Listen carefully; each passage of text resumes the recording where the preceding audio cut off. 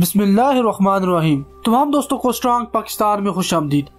دوستوں انیس سو اکہتر کی جنگ کے بارے میں بہت زیادہ کچھ کہا گیا ہے اور بہت کچھ لکھا بھی جا چکا ہے، لیکن ہمیشہ کچھ چیزیں نظر انداز ہوئی ہیں اور انہی نظر انداز چیزوں سے ہمیں ہمیشہ شرمندگی کا سامنا کرنا پڑتا ہے۔ جو چیزیں حقیقت ہی میں نہیں، انہیں بھارتی میڈیا نے پروپوگنڈا کر کے ہم پر مسلط کر دیا۔ تو بھارتی میڈیا آج کل یہی کہہ رہا ہے کہ پاکستان کو ہم نے بہت زیادہ شکست انیس سو اکہتر میں، ہم نے پاکستان کے ترانوے ہزار قیدی چھوڑ دیے، تو ہم نے پاکستان پر احسان کر دیا۔ ایسی ایسی باتیں ہمیشہ انڈین میڈیا پر ہوتی رہتی ہے۔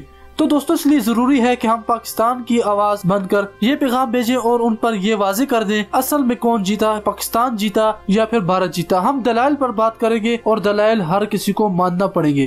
دوستو، پاکستان کے عسکری مدبر اعلان جنگ کرتے وقت اس گمان میں مبتلا تھے کہ مشرقی پاکستان میں پسپائی اور مغربی پاکستان میں تیز تر پیش قدمی کے ذریعے بھارت کو اپنے مشرقی پاکستان میں داخل ہونے والی افواج کو مغربی پاکستان کے بارڈر پر لانے پر مجبور کیا جا سکتا ہے۔ لیکن اگر بھارت مشرقی پاکستان پر قابض ہو جاتا ہے تو پاکستان، مقبوضہ کشمیر، بھارتی پنجاب اور راجستان کے وسیع علاقوں پر قبضہ کر کے بھارت کو مشرقی پاکستان سے دست بردار ہونے پر مجبور کر سکتا ہے۔ مگر تمام جنگی نتائج پاکستان کے عسکری مدبروں کے گمان کے برعکس نکلے اور براخر پاکستان کو اپنی مشرقی بازو سے دست بردار ہونا پڑا۔ تو کیا فاتح بھارت ہوا؟ اس کا تعین کرنا ابھی باقی ہے۔ وزیر اعظم ذوالفقار علی بھٹو اقتدار حاصل کرنے سے لے کر اقتدار چھن جانے تک اپنے سیاسی کارناموں میں ایک یہ بھی گنواتے تھے کہ اس نے چورانوے ہزار پاکستانی جنگی قیدی بھارت سے چھڑائے ہیں۔ دوستو، مشرقی پاکستان کی تصوراتی حکمت عملی کا جائزے کے دوران میں آپ کو یہ واضح طور پر بتانا چاہتا ہوں کہ پاکستان کو باقاعدہ تربیت یافتہ سپاہ کی شدید کمی کا سامنا تھا اور یہ کمی مقامی محب وطن لوگوں کی محدود عسکری تربیت دے کر پوری کی گئی تھی۔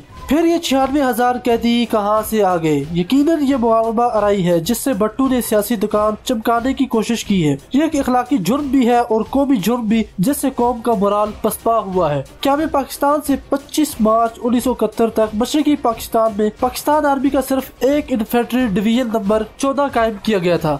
پچیس مارچ انیس سو اکہتر کے بعد یقیناً اس ڈویژن میں شامل بنگالی غیر مؤثر ہو گئے تھے، جس سے اس کی افرادی قوت میں تیس فیصد کمی واقع ہوئی تھی۔ پچیس مارچ کے بعد انفینٹری ڈویژن نمبر نو اور انفینٹری ڈویژن نمبر چودہ مشرقی پاکستان بھیجے گئے تھے۔ یہ نامکمل ڈویژن تھے۔ اس طرح جو ایڈہاک ڈویژن قائم کیا گیا اس کا بیشتر حصہ باقاعدہ تربیت یافتہ افراد پر مبنی نہ تھا۔ ان چار انفینٹری ڈویژن میں اٹھتیس ہزار سے کم افراد پاکستانی باقاعدہ فوج کا حصہ تھے اور باقی تربیت یافتہ لوگ تھے۔ ان کے علاوہ مغربی پاکستان سے تعلق رکھنے والے رینجر سکاؤٹس، ملیشیا اور سیول پولیس کی تعداد گیارہ ہزار کے لگ بھگ تھی۔ اب ان میں سے ہم غیر حربی عملہ مثلا nursing staff doctors, lady doctor, حق روم، موچی نائی باورچی، راشن مہیا کرنے کا عملہ، ایئر فورس اور بحریہ کا عملہ بھی شامل کر لے تو جنرل نیازی کے بقول یہ تعداد پچپن ہزار سے زیادہ نہ تھی۔ اس میں سے ہمیں کم از کم پانچ ہزار افراد نکالنا ہوں گے جو کسی نہ کسی طریقے سے فرار ہوئے یا بغاوت یا پھر جنگ کے دوران شہید ہوئے۔ باقی تعداد پچاس ہزار یا اس سے قریب تر بنتی ہے، جنہیں بھارتی فوج نے قیدی بنا کر بھارت منتقل کر لیا۔ بھارت کے میجر جنرل لکشمن سنگھ نے اپنی کتاب Indian sword strike in East Pakistan میں بھی پاکستانی جنگی قیدیوں کی تعداد پچاس ہزار نو سو اٹھاسی بتائی ہے۔ تو دوستوں کیا کثیر تعداد میں سپاہ قید کرنے پر شکست و رحت کا تعین کیا جا سکتا ہے؟ تو یقیناً نہیں۔ کیونکہ جنگیں کبھی بھی قیدی اکٹھے کرنے کے لیے نہیں لڑی جاتی۔ اس طرح بھارت کے سابق وزیر اعظم مرار جی ڈسائی کے بقول گوریلا جنگ کے دوران مشرقی پاکستان میں بھارت کے پانچ ہزار باقاعدہ فوجی بختی بانی کے روپ میں ہلاک ہوئے ہیں، جبکہ باقاعدہ جنگ کے دوران تقریباً چار ہزار فوجی ہلاک ہوئے۔ جنرل نیازی کا کہنا ہے کہ بھارت کے تیرہ ہزار سے زیادہ فوجی ہلاک ہوئے، جبکہ پاکستان کے آٹھ ہزار کے قریب فوجی شہید ہوئے۔ ہم زیادہ شرح ہلاکت کی بنیاد پر بھی فاتح کا تعین نہیں کر سکتے۔ اب اگر ہم دشمن ہلاکے کے زیادہ سے زیادہ رقبے کا معیار بنائیں، تو پھر بھی کوئی خاص نتیجہ خاص نہیں کیا جا سکتا۔ کیونکہ انیس سو چورہتر کے بعد شملہ معاہدے کے تحت بھارت کو مغربی پاکستان کے تمام علاقے پاکستان کو واپس کرنا پڑا۔ اس طرح پاکستان نے بھی تمام زیر قبضہ بھارتی علاقہ بھارت کو واپس کر دیا۔ مشرقی پاکستان کو اگرچہ بھارت بنگلہ دیش کا روپ دلوانے میں کامیاب ہو گیا، مگر یہاں سے بھی بھارت کو بھی اپنی فوجیں نکالنا پڑی۔ تو پھر کیا بھارت کو فتح ہوئی فاتح کا تعین کردہ دوستو ابھی بھی باقی ہے۔ مغربی پاکستان کے محاذ پر پاک بھارت جنگی نقصانات تقریباً برابر کے ہیں، جس پر بعد میں بھی بات ہو سکتی ہے۔ فی الحال میں آپ کو یہ بتاتا چلتا ہوں کہ فاتح کا تعین کرنے کے لیے ہمیں مغربی محاذ جنگ کو نظر انداز کرنا ہوگا۔ اور صرف یہ بات ذہن میں رکھنا ہوگی کہ فاتح کا تعین حصول مقصد سے ہوتا ہے۔ جو مقصد حاصل کر لے، وہی فاتح ہوگا۔ بھارت نے آپریشن بنگلہ دیش پاکستان کو عسکری اقتصادی لحاظ سے کمزور کرنے کے لیے کیا تھا، لیکن حالات نے ثابت کر دیا کہ بنگلہ دیش بن جانے کے بعد پاکستان عسکری و اقتصادی لحاظ سے بھارت سے زیادہ درست انداز میں سرحدوں پر جواب دینے لگا۔ اس نے ایٹم بم کا جواب ایٹم بم سے اور مزائلوں کا جواب مزائلوں سے دیا۔ کشمیر مشرقی پنجاب اور دیگر تمام علاقے جہاں بھارت مخالف تحریکی چل رہی ہے، وہاں پاکستان کا فعال کردار بڑھتا جا رہا ہے۔ وہ بھارت اپنے مقصد کے اصول میں ناکام ہوا ہے۔ بنگلہ دیش بنانے کا مقصد یہ بھی تھا کہ یہ مملکت کلی طور پر بھارت پر انحصار کرنے پر مجبور ہوگی۔ بھارت اس کی حربی اقتصادی پالیسیوں کو کنٹرول کر کے اسے ایک ذیلی ریاست کا مقام پر رکھے گا۔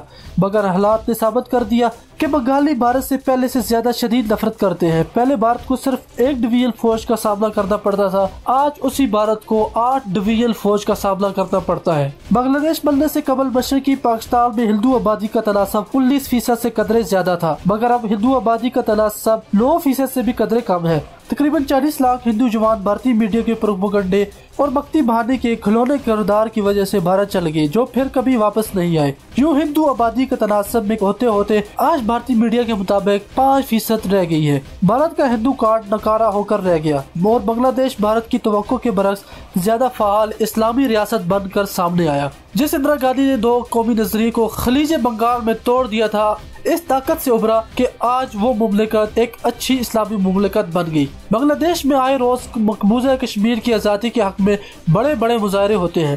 اور یقیناً بھارت سے محبت نہیں، بلکہ شدید نفرت اور پاکستان سے شدید محبت کا اظہار ہے۔ پاکستان نے بنگلہ دیش کی عسکری مضبوطی کے لیے بلا محافظہ ایف سکس تیارے بھی دے دیے ہیں۔ عسکری تعاون روز بروز بڑھتا جا رہا ہے۔ دونوں ملک مشترکہ بحری مشقیں کرتے ہیں۔ تو پھر فاتح کون ہے؟ یقیناً بھارت نہیں حصول مقصد میں ناکامی کا مطلب شکست ہونا ہے۔ لہٰذا ہم وسوخ سے کہہ سکتے ہیں کہ انیس سو اکہتر کی جنگ میں بھارت نے کچھ حاصل نہیں کیا۔ ہاں اس سے بھارت کی معیشت ضرور کئی سال پیچھے چلی گئی تھی۔ کیا فاتح پاکستان ہے؟ یہ جواب حاصل کرنے سے پہلے میں ہر پاکستانی سے یہ سوال کرتا ہوں۔ کیا بھارت سے ہماری جنگ ختم ہوگی؟ جواب یقیناً نفی میں آئے گا۔ جنگ تقسیم ہند سے لے کر اب تک جاری ہے۔ کبھی یہ جنگ اعلانیہ جنگ کے بعد سرحدوں پر مخصوص میدان جنگ کی تشکیل دے کر اور کبھی محاذ گرم کر کے لڑی جا رہی ہے۔ اور کبھی جنگ بندی کا اعلان کر کے یہ جنگیں لڑی جا رہی ہیں۔ یہ جنگ جب تک نظریہ پاکستان اور پاکستان ہے، جاری رہے گی یا پھر جب تک بھارت اپنا سخت رویہ ختم نہیں کر دیتا۔ پاکستان اور اپنے دیگر ہمسایہ ممالک کو برابری کا حق نہیں دیتا، مگر بھارت کبھی ایسا نہیں کرے گا۔ لہٰذا یہ جنگ جاری رہے گی۔ اس جنگ میں یقیناً پاکستان سے اس کا ایک عسکری میدان مشرقی پاکستان چھل گیا ہے، لیکن ایک میدان چھل جانے سے فتح یا شکست کا تعین کبھی نہیں کیا جا سکتا۔ پسپائی اور چڑھائی تو شطرنج کی طرح جنگی کھیل کا بھی حصہ ہے، لہٰذا ہمیں پریشان نہیں ہونا چاہیے۔ بلکہ نئی ہمت، نئے حوصلوں کے ساتھ، نئی چالیں اور نئے حربے استعمال کرنا ہوگے بھارت آبادی کے لحاظ سے ہم سے سات گنا زیادہ اور رقبے کے لحاظ سے تین گنا بڑا ملک ہے۔ حربی لحاظ سے ہم سے کئی گنا بڑا ہے۔ وہ پاکستان کو کئی بار بٹانے کی کوشش کر چکا ہے، مگر پاکستان قائم و دائم ہے۔ محدود وسائل کے ساتھ خود کو بچا لینا بھی پاکستان کی ایک بڑی کامیابی ہے۔ اور ہم یقین و ایمان کی ساری مضبوطی سے یہ کہہ سکتے ہیں کہ اس جنگ کا آخری فاتح پاکستان ہوگا، انشاءاللہ۔ دوستو، اگر آپ انیس سو اکہتر کی پوری کی پوری جنگ سننا چاہتے ہیں تو آپ مجھے یہ کمنٹس میں لکھ کر بتائیے، تو میں پھر آپ کے لیے پوری سیریز بناؤں گا۔ تو اگر آپ ووٹنگ کریں گے تو تب ہی میں اس پر کام کروں گا۔ دوستو، یہ ویڈیو انڈین میڈیا کے جواب میں ہے۔ اس ویڈیو کو آپ آگ کی طرح پھیلا دیں۔ انیس سو اکہتر کی جنگ کے بارے میں آپ کو یہ پتا چل گیا ہوگا کہ بھارت نے اس میں کچھ حاصل نہیں کیا۔ جس مقصد کے لیے اس نے جنگ کی، وہ مقصد اس کا ناکام ہو گیا۔ جبکہ آج بنگلہ دیش پاکستان کا ایک بہت اچھا اسلامی مملکت بن کر ابھرا ہے۔ دوستو، اگر بھارت فاتح ہے تو میں بھارتیوں سے ایک سوال پوچھنا چاہتا ہوں۔ بھارتیوں، آپ نے کیوں اتنی زیادہ فوج بنگلہ دیش کے بارڈر پر لگا رکھی ہے؟ کیوں آپ نے وہاں پر کانٹے دار تاریں لگائی ہیں؟ کیونکہ بنگلہ دیش سے آپ کو خطرہ ہے، کیونکہ بنگلہ دیش بھی پاکستان کی طرح ہے، بنگلہ دیش میں لوگ بھی پاکستان کی طرح ہے بنگلہ دیش اب بھی پاکستان ہے، پہلے سے بھی پاکستان تھا۔ آپ کو انشاءاللہ ویسا ہی وہ بھی جواب دے گا جیسا آپ کو پاکستان جواب دیتا ہے۔